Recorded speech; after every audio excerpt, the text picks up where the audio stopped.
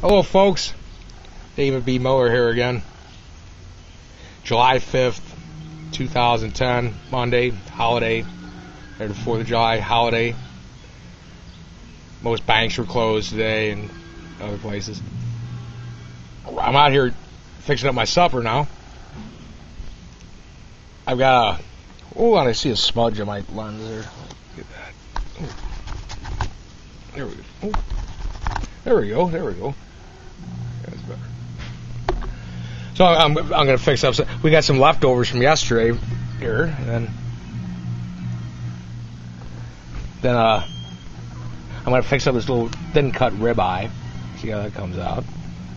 Got a few barbecue potato chips here. Those St. Pauli Girl Dark.